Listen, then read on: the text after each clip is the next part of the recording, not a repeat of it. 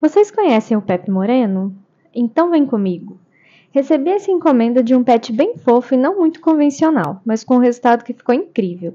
Como toda aquarela, faço um desenho no papel vegetal para não ter perigo de sujar o papel da arte final.